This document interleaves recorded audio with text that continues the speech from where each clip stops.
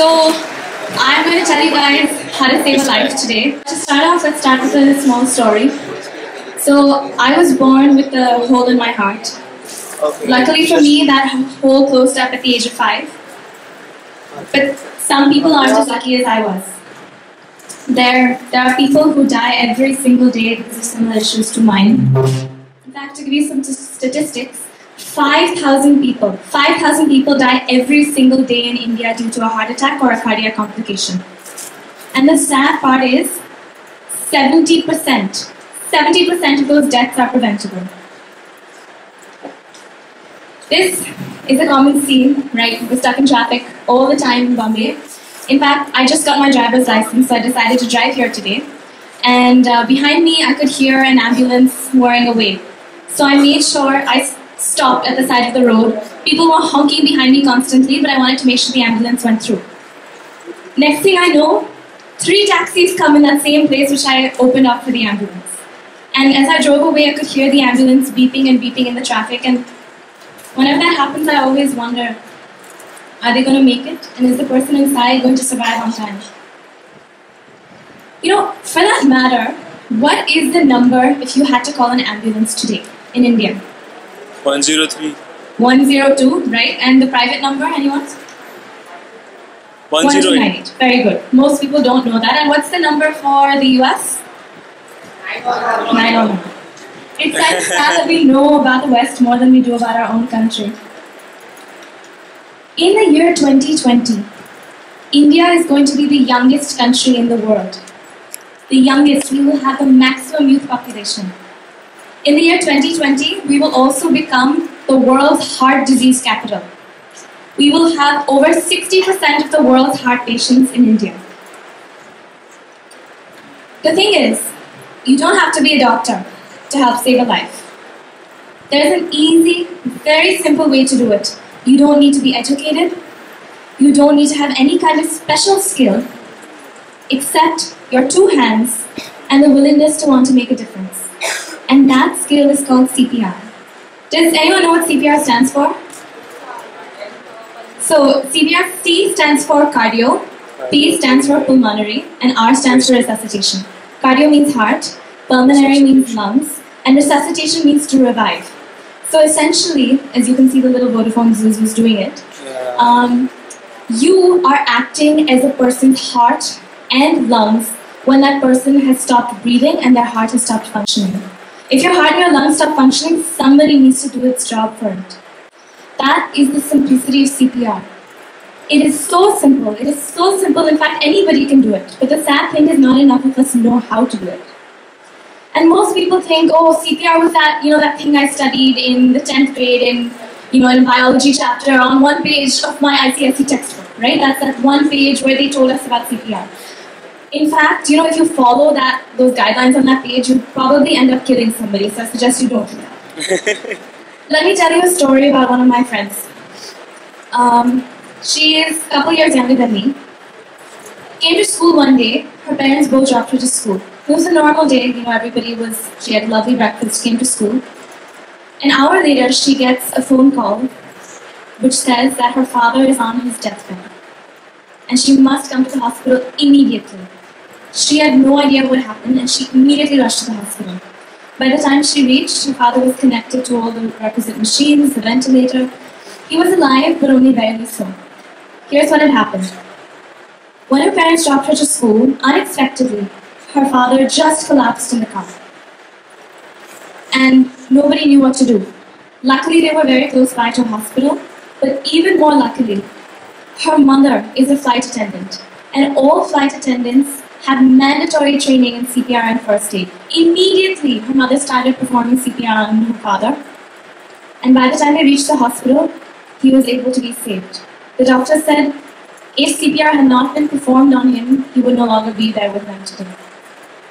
And Krishna learned the importance of CPR that day, and she said it's not it's not one of those things you read about in movies or you watch Mr. Bean where he steps on someone's face and actually, you know, breathes into their chest. It's not that's not CPR. CPR is a very simple skill, and I'll tell you how simple it is soon.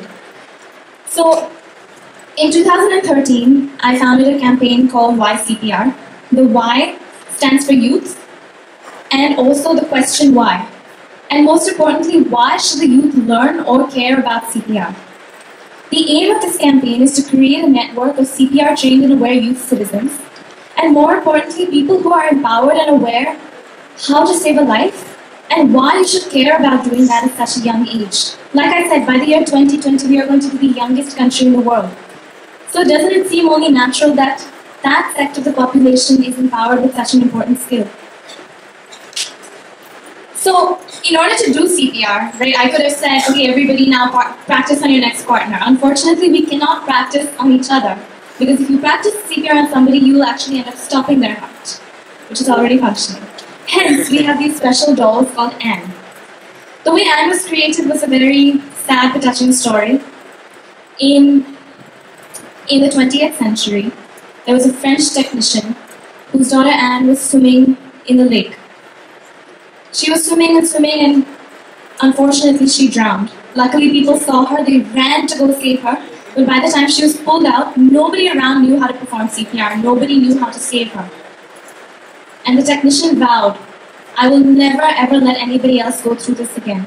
So using his skills as a technician, he created these specially engineered dolls called Annes, christened after the face of his daughter. There's also a rather creepy story about Anne if you want to look that up on the internet. I prefer not to say it here. Um, in any case, you will meet an Anne later. I grew up, I spent the first uh, eight years of my life in the US. And when I was five, my best friend's mother had cancer. And it's not necessarily important because she survived, so it's not a very sad story. But what is sad, or what touched me at that point, was Gracie's mother was beautiful. She had the most gorgeous long blonde hair, which used to fall in curls. And I would see her standing in the bathroom crying every time she lost it after chemotherapy. And I'd grown up, you know, hearing social cues, learning that hair is a sign of femininity, something as simple as that. And I said, you know, she doesn't have her hair, why can't she have my hair? That was my idea as a little five-year-old. So I used to start donating my hair to an organization called Locks of Love ever since I was five. My hair would grow out and I would donate it for patients to make cancer wigs. When I moved here, I realized you can do something bigger. So I actually started a uh, I started a fundraiser for charity concert, and we raised a lot of money and donated that to the pediatric oncology or cancer ward at a few hospitals in the city. And I realized that is one step to making change. If I can do that, or I can attempt to do that, we can all try to do something to help make that change. Over the years, I started developing my skills. I did a lot of work in anemia and thalassemia, in cardiac disease, organ donation. In fact, so this was, I was uh, 15 years old, and um, I had gone to a conference where the topic forum was human trafficking and organ trafficking. So you'll be surprised to know. Any guesses which country has the highest rate of donation per million population? It's not the USA, it's Spain. And that too, it is 36, 34 to 36. That is a very small number, but that is still the highest in the world. Any guesses what India's is? Someone said 5, it's 0.016. 0.016 per million population is our rate of donation. And then I said, why? You know, why? What is, what is the issue? Why is this happening? So I started conducting a lot of research into it. And as it turns out, of course, with a lot of things, we had religious, social, economic factors attached to these reasons. I started doing more research, and I decided, let's contact people. So when I was in the US, I said, let's contact United Network organ for Organ Sharing, and I called them up one day and I asked them for help. And I was really surprised. They listened. They listened to a 14, 15 year old, and they said, "We will help you. We will connect you to people." When I came back, I tried approaching governmental officials. I tried approaching NGOs, and they said, "आप तो 15 साल के हो. आपको क्या मालूम है?" And they they turned me away. And I said, "There has to be something, something that I can do, or something that we all can do to make a difference." And it almost happened by serendipity. So I had gone for my regular health checkup at a community chain of medical centers called HealthSpring. I don't know if you guys have seen HealthSpring around. And in the next room, they were training nurses to do CPR. And I said, wait a second, that, you know, I've seen it on TV, it looks so easy, why can't I do it? So I went up to them and I said, can you teach me? I said, uh, sure, you know, we can teach you. I learned it and I realized how simple it is. It is so simple to do, yet barely any of us know how to do it. So that gave me an idea, and I said, why don't we try it out at a bigger level, scalable. So I tried it out first. I tried it out first in my school. And uh, we had a wonderfully magnificent response. And I said, one school has such a huge response, why can't we take it across to all students? And I felt the best thing about taking it to schools, colleges, and other institutions was students want to learn. And not only were we able to teach CPR or able to spread awareness about it, but we were also able to explain the science behind it and why it's being done.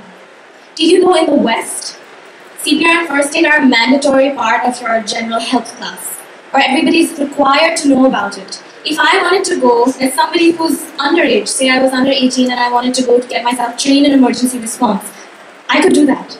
But here that doesn't exist. And that doesn't exist for a host of reasons, but we need to create a way to make it accessible.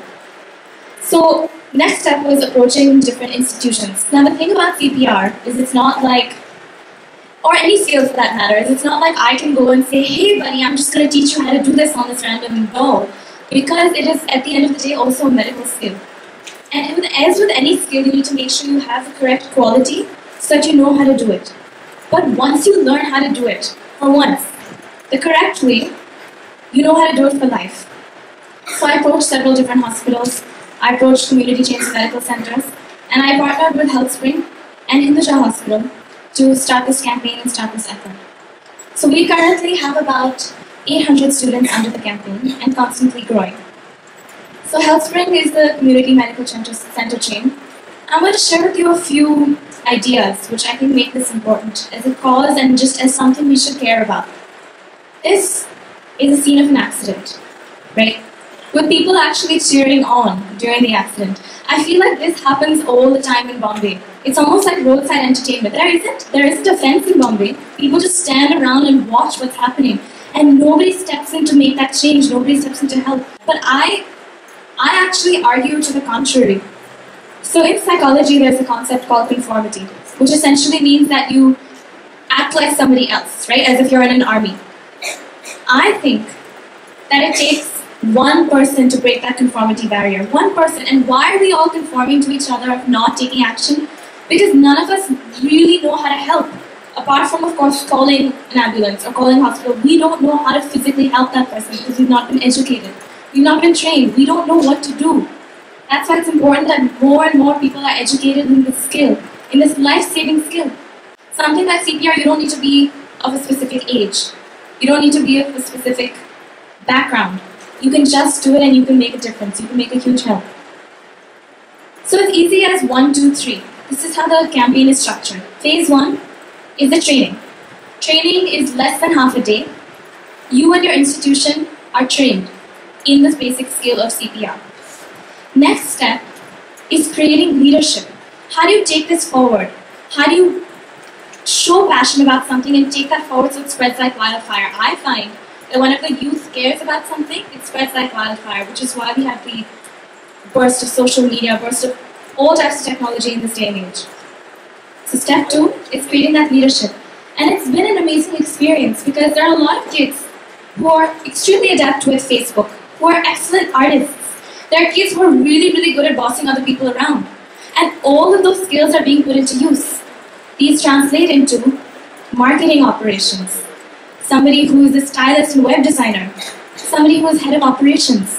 And people are empowered of actually giving back and caring about something that can potentially help save a life.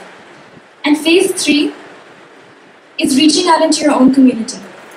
We all have different concepts of community. For me, it could be my building. For you, it could be your karate class. For somebody else, it could be a physical club like Bombay Gym, CCI, whatever. People take it lightly, but imagine something happens in your building and you know how to do CPR. You can be the person to help save that person's life. Performing CPR increases someone's life expectancy by 40%. So, in conclusion, I'm going to show you a glimpse of our little friend Anne, and I'm going to show you how simple this skill really is. Now, something that you should know is to perform CPR, you should keep a song in your mind. It's a famous song by the Bee Gees. Any guesses? So it's really adept to the fact. It's called staying alive. Yeah. So staying alive. So what's our normal heart rate? 72 to 80, right? Staying alive is at the beat per minute of about 101, 102, because you're performing it faster so that the blood reaches more spots in the person's body. Just think about it. The time taken to learn CPR is very minimal. The effort exerted is barely anything, and the return on investment, right, which we care about so much these days, is that you could potentially save a life. So I think it's a very, very important skill, and it's a very important passion that people should have about educating each other about things that make them aware, socially conscious and socially aware. So that being said, can we play the song, please? And I will show you a small demonstration of CPR. Unfortunately, I don't have a lapel mic, but this is how we do it. So let's first, let's meet our little friend Anne.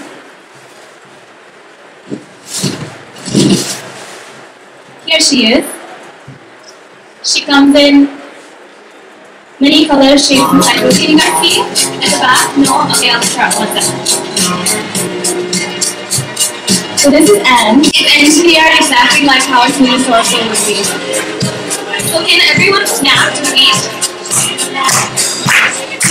beat? Okay. So meanwhile, let's do a quick demonstration. Hello sir, are you okay? You need to check whether the person is just unconscious or intoxicated or actually has a problem.